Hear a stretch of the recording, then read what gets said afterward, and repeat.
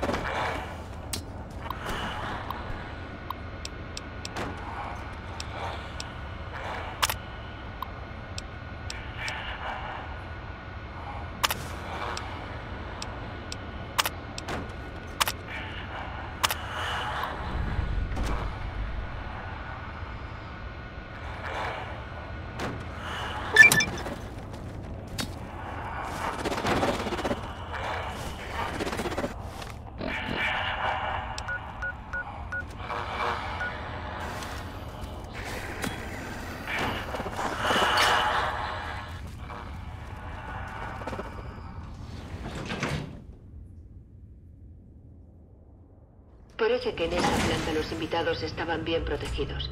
He mirado en la suite. Encontré a la mujer holográfica de la fuente de la villa.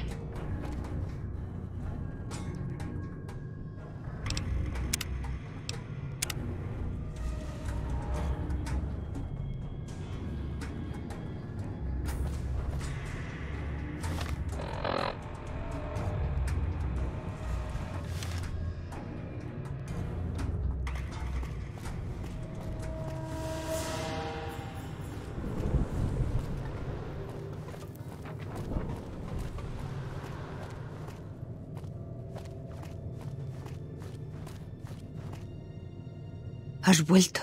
¿Seguro que me quieres aquí con collarines y todo? No mola esperar con una bomba al cuello.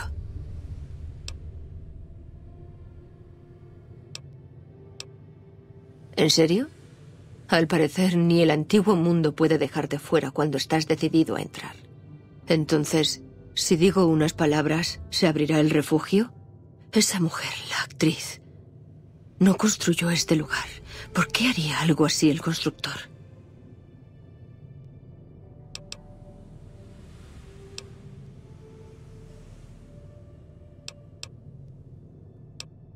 Es posible. Esto es inmenso y hay electricidad. Dispensadores de comida, seguridad. ¿Todo para los invitados de antes de la guerra? ¿O para ella?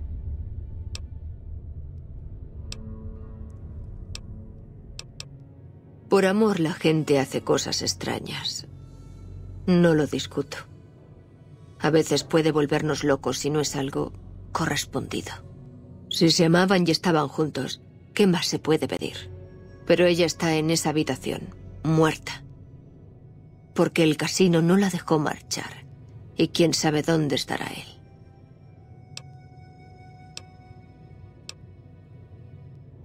Está bien. Si bajas ahí, ¿sabes lo que haces? ¿Y si no regresas?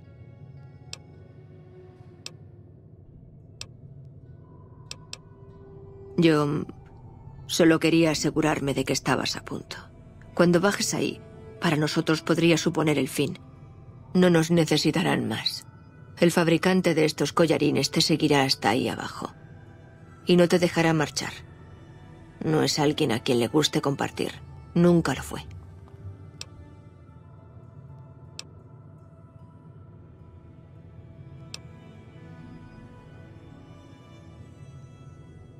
No.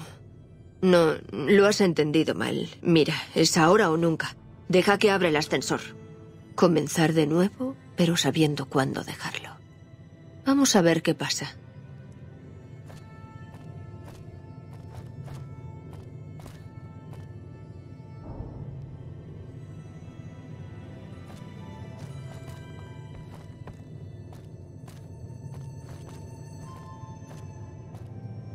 Comenzar de nuevo, pero sabiendo cuándo dejarlo. Te... Te deseo suerte en el refugio. No es fácil dar con Elijah.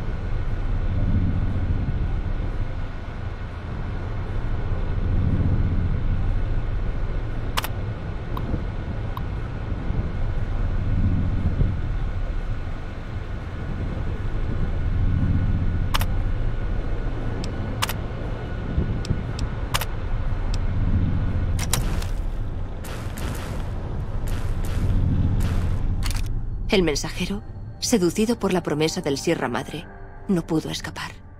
Una vez dentro del refugio quedó atrapado en el casino. Cuando el mensajero falleció por fin, el casino creó un nuevo holograma para que caminara junto a los demás fantasmas que albergaba. Fue un homenaje preprogramado y previsto para otro. Supuso un nuevo significado para la imagen del mensajero. Una forma de permitir un nuevo comienzo, hasta para los muertos.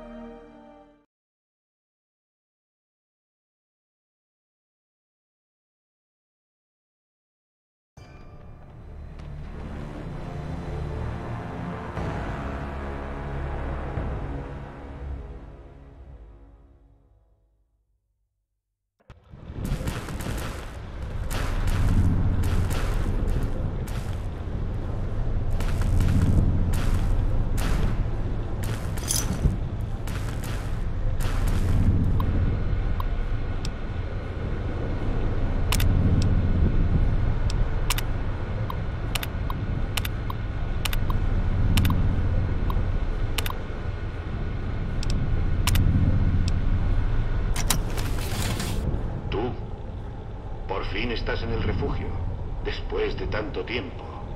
El Sierra Madre. Mío. No te muevas. No entres en el refugio. Y no toques nada más. Puede que haya más trampas ahí abajo. Otro sistema de seguridad.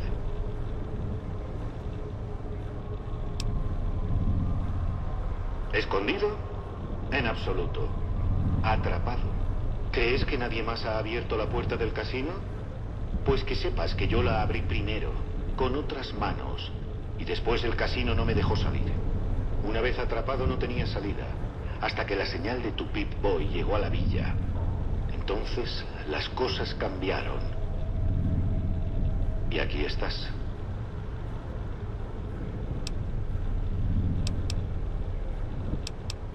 ¿Ah, sí? ¿De qué? ¿De tu codicia? ¿Tu curiosidad? Viniste porque quisiste. Nadie te puso una pistola en la sien. He visto los archivos de tu Pip-Boy, los marcadores del mapa y las notas. Captaste la señal del Sierra Madre como yo. No pudiste resistirte. Así que si crees que tengo mucho por lo que responder, no, yo no cargo con la culpa.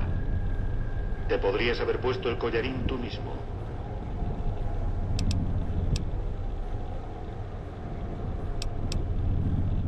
Lo dices como si no hubieras tocado nunca las teclas de un terminal de Robco. Ninguna máquina es infalible, están diseñadas para obedecer. Los sistemas operativos de las Pit Boys son vulnerables, lo que es una ventaja para quienes han estudiado su estructura, aunque sea superficialmente. Aunque no es más que una máquina, su auténtico punto débil es la persona que la usa, y así es como te atrapé. Ese trasto de tu muñeca es muy cómodo, te indica a dónde ir, qué hacer. Digamos que te convierte en una especie de borrego. Puede que te haya ayudado a captar la emisión del Sierra Madre, pero sigue siendo solo un accesorio, igual que lo era en el mundo antiguo. No, no voy a arriesgarme estando tan cerca. No a esta distancia, no. Otra vez no. Puedo esperar. Prefiero ser cauto. Tú estás atrapado ahí abajo. Esta es la única entrada y yo tengo el control total en el Sierra Madre. Tengo tiempo, más que tú. Además, podría haber más trampas. Enviaré más exploradores. Sí, otros. Tienes tus recursos. No quiero dejar nada más al azar.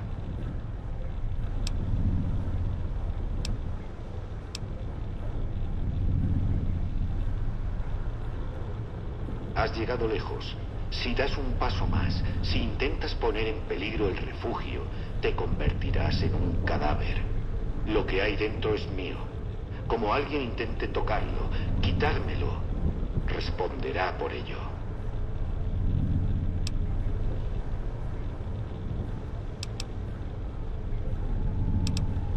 Este casino no es la caja fuerte de una caravana y la cerradura que guarda el refugio del Sierra Madre no contiene todos sus secretos.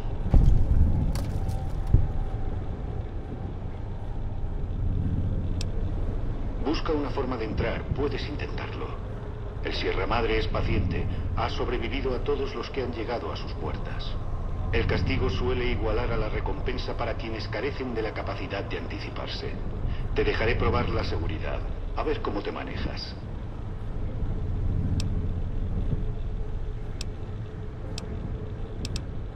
Ya estoy harto.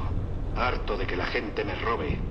Voy a bajar. Olvídate de la seguridad del Sierra Madre. Te encontraré yo mismo. Como intentes entrar en el refugio, activo el collarín.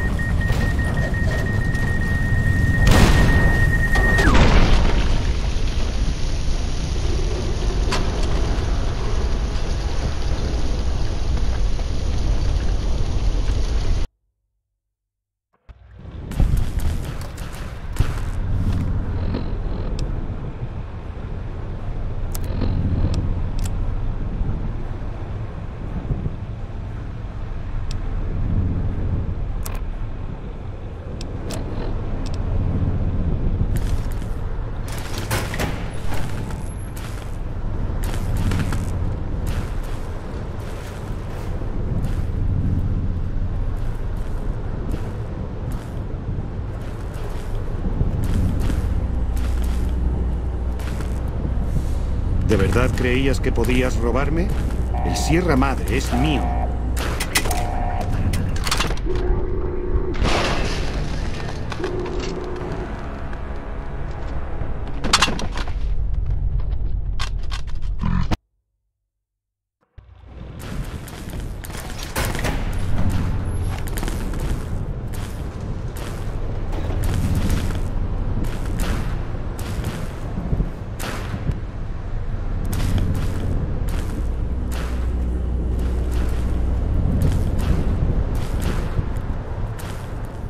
¿De verdad creías que podías robarme? El Sierra Madre es mío. Tecnología de antes de la guerra. Acabaré contigo. El tiempo juega en tu contra. Desde el principio.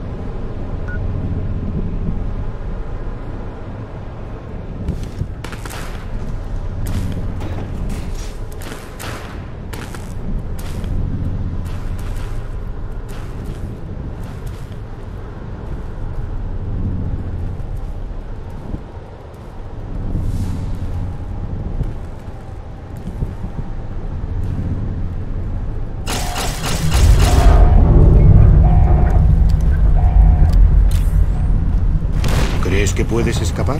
Pues olvídate de eso. Tengo control absoluto desde el principio.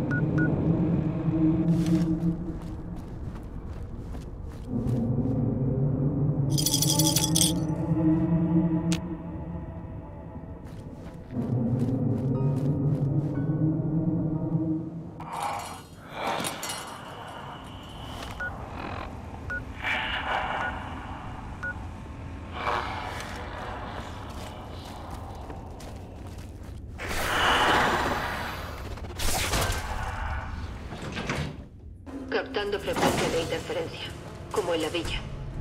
Altavoces y radios activos en la planta. Ten los oídos bien abiertos, vigila las paredes.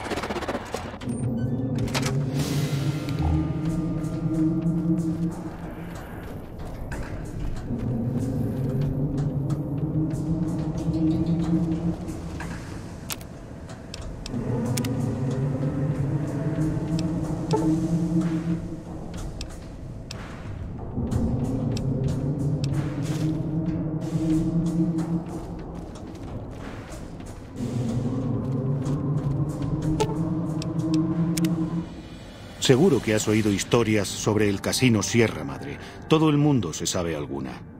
Esta historia es diferente de las demás.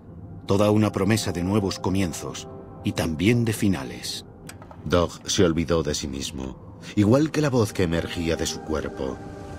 Tras su muerte, una nueva voz se instaló en el armazón del mutante. Era difícil para la voz recordar a los dos seres que fueron una vez. Estaba la bestia, Dog, consumido por la gula, y su contrario, consumido por el control. Los dos necesitaban del otro. El mensajero logró unificarlos. De algún modo hizo de ambos uno solo.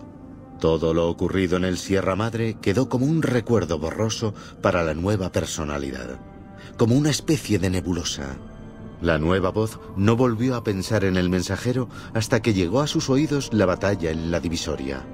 La batalla entre los dos mensajeros, bajo un cielo roto y la bandera del antiguo mundo. Ambos llevaban un mensaje para el otro, y el mutante rezó para que el mensajero que lo salvó aquella vez fuera a su vez salvado. Din Domino. Artista, cantante, ladrón, actuó por última vez en el escenario del Sierra Madre. El golpe que planificó durante más de 200 años se fue al traste, justo como la primera vez. No ayudó que subestimara a sus compañeros. Poco después de que el mensajero dejara la villa, las luces del teatro se apagaron, una a una. En el escenario solo quedó el holograma de Dean interpretando una canción ante una sala vacía. Pero el Sierra Madre lo dejó embrujado. Quedó deslumbrado por sus riquezas y se dejó arrastrar por su mezquindad. Christine, una vez completada su misión, encontró una nueva meta como guardiana del Sierra Madre. Decidió protegerlo en silencio. por propia voluntad. Con el tiempo, los fantasmas humanos llegaron a verla como uno de sus hologramas. Ellos vigilaban en silencio y ella caminaba entre ellos. A veces, Christine pensaba en el mensajero, que había impedido que Elisha la matara. El mensajero le recordaba a la otra mensajera que había conocido en el gran vacío. Y se preguntaba si los dos habrían acabado encontrándose. Ella no volvió a pensar en ellos hasta que oyó las leyendas de la divisoria. La divisoria, donde los dos mensajeros combatieron bajo una antigua bandera en el borde del mundo. Tú has oído hablar del casino Sierra Madre. Como lo hemos hecho todos, la leyenda, las maldiciones, tonterías sobre su emplazamiento en medio de una ciudad de muertos. Una ciudad de fantasmas, enterrados bajo una nube rojo sangre. Un monumento resplandeciente que conduce a los cazatesoros a su perdición. La ilusión de poder comenzar de nuevo, de cambiar tu suerte. Pero encontrarla no es lo difícil. Hay que saber cuándo dejarlo.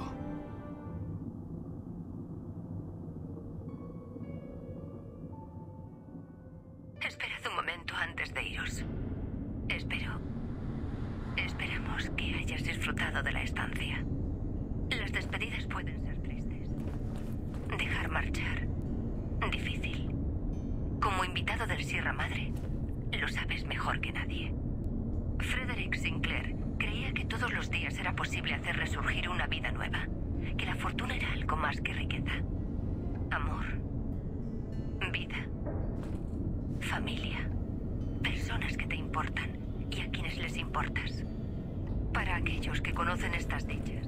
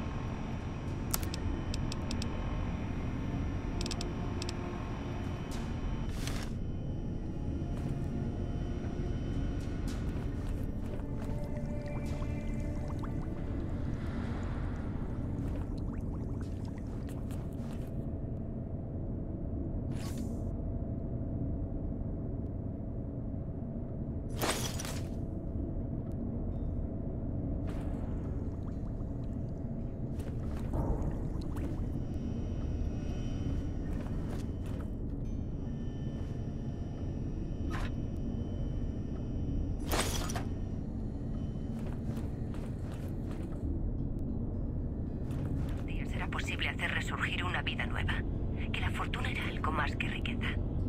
Amor. Vida. Familia. Personas que te importan y a quienes les importas. Para aquellos que conocen estas dichas, el Sierra Madre tiene poco que ofrecer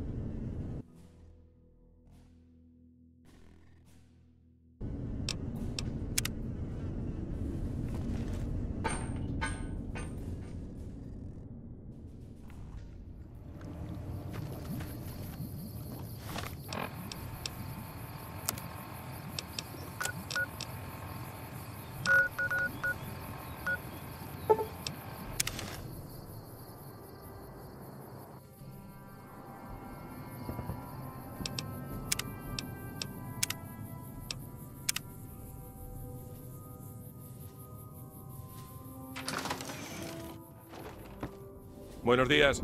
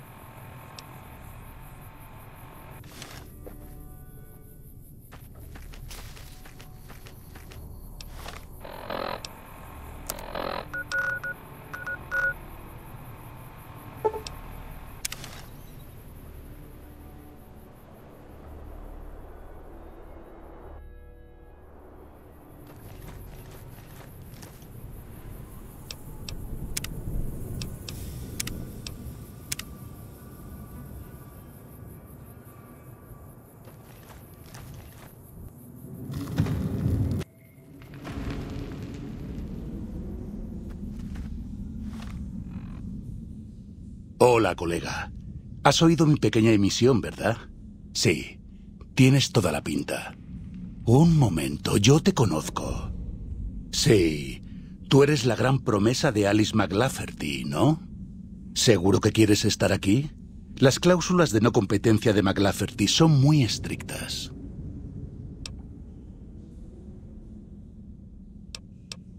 Somos la compañía más pequeña de Sacktown, en la zona norte de la RNC. Hacemos negocios en New Reno, allí, en el Little Loop. También mandamos una buena caravana a Salt Lake City, pero luego perdimos contacto con New Canaan y se fue todo al carajo. Tienes razón. Perder la caravana a Salt Lake City nos ha escocido. Si no logramos restablecer contacto con ella, tendremos muchos problemas. Sin la misión de New Canaan en Zion, los únicos caminos a Salt Lake City son por la vieja I-80 o a través de Ogden. La autopista es muy peligrosa. Los rangers de la RNC tienen mucho trabajo aquí en el Mojave. No tienen gente para ocuparse de los saqueadores. Ogden está demasiado lejos. Los gastos del viaje serían mayores que los beneficios. No sé mucho sobre ese sitio, pero te puedo hablar sobre la gente. Los neocanaanitas eran una especie de grupo religioso de antes de la guerra. Controlan la antigua ciudad de Ogden, al norte de Zion, y tienen una buena misión defendible en el mismo cañón. O la tenían. Comercian bastante con las tribus de Zion. Bueno, por lo menos con las que no intentan matarlos.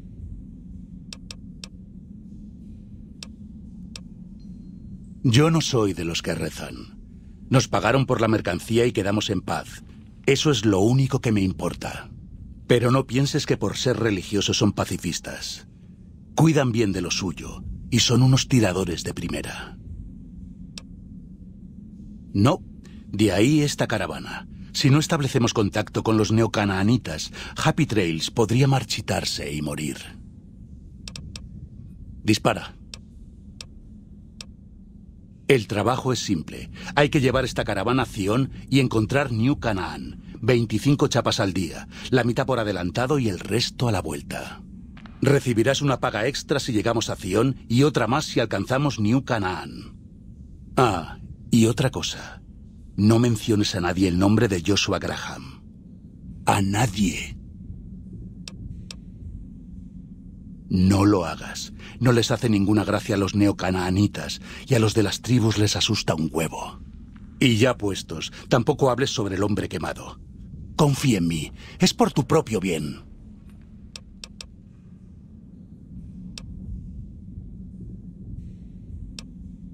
Bueno, yo nunca he estado dentro.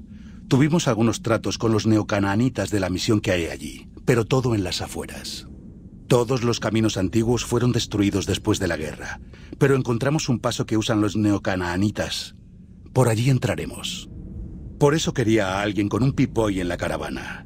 Nos será útil el mapa para comprobar la topografía y no desviarnos de la ruta.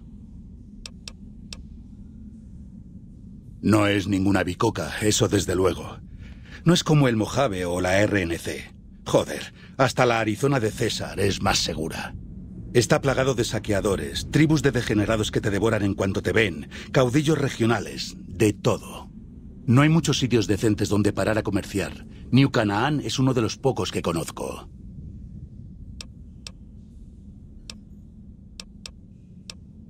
Exacto. Los que vivían en Zion antes de la guerra no es que se volvieran un poco salvajes, es que son realmente feroces.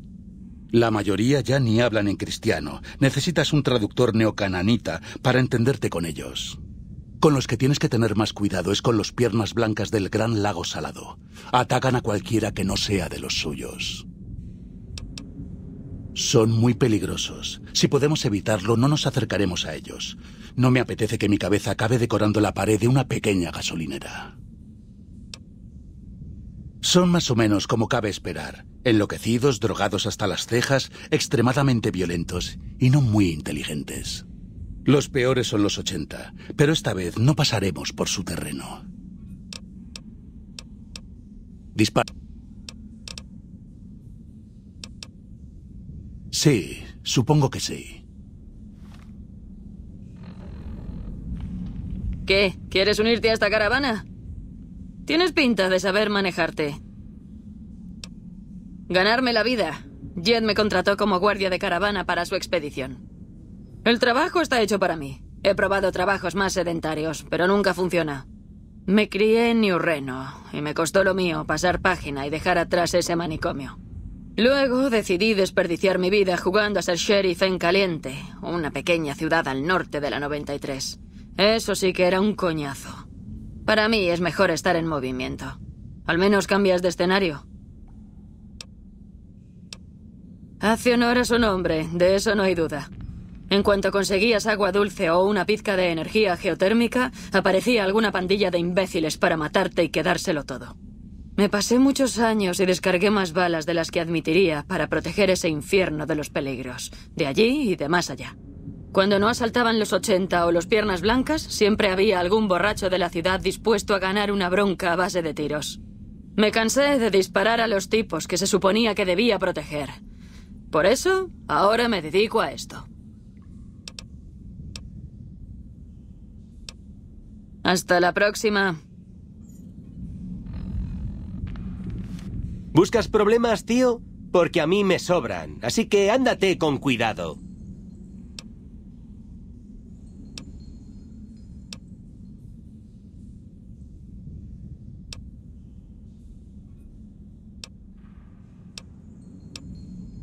¡Eh! ¡Vete a la mierda! Yo no he dicho nada de tomar, Psycho. Menuda capacidad de observación. Pues claro que tengo un Pit Boy y un traje del refugio. ¿Qué pasa?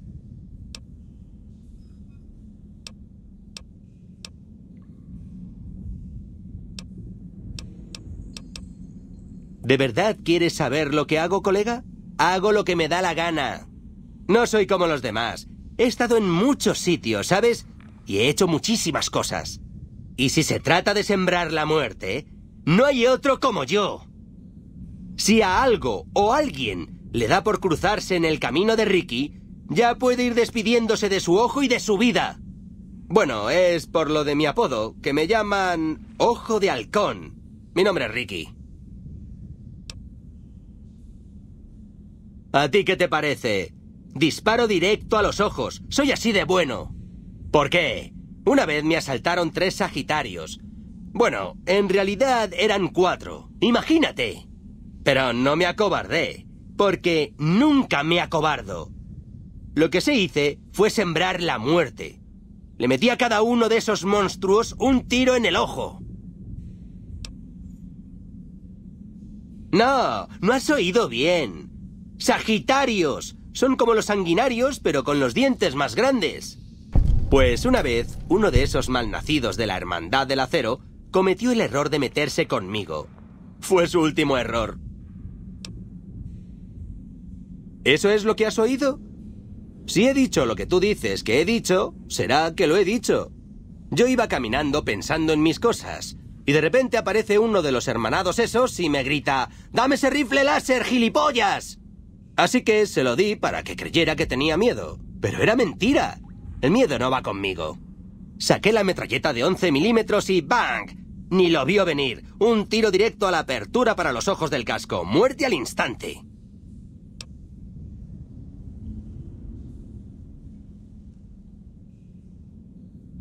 Pues entonces esta mierda de armadura debe de ser de la serie D, por lo menos. Lo único que sé es que cuando lo maté se murió, ¿vale? ¿Dónde coño va a ser? En el refugio 22. Ahí es donde me he criado.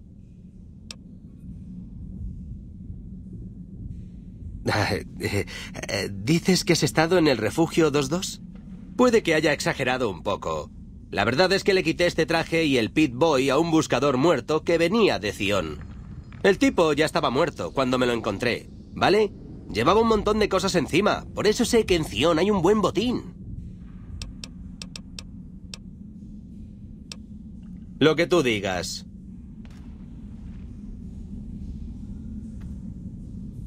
Hola. Si la RNC ya no tiene que preocuparse de César, debería hacerlo por mejorar las vidas de la gente normal de aquí.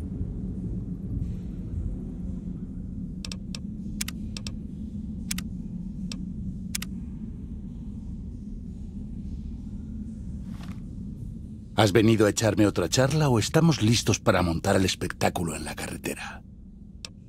Seguro, pero no vas a ir cargando tanto equipaje como un brahman.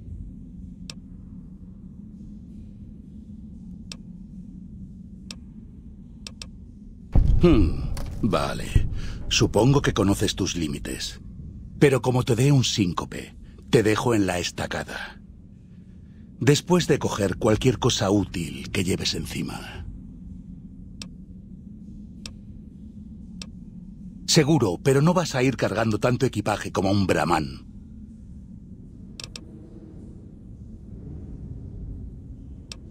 Nunca has estado en Zion, ¿verdad? Hay que cruzar por un infierno de desfiladeros estrechos y pasos muy duros y muy altos. Con un equipaje grande te atascarás como un supermutante arrastrándose por una alcantarilla. Y si llevas mucho peso, morirás por la baja densidad del aire.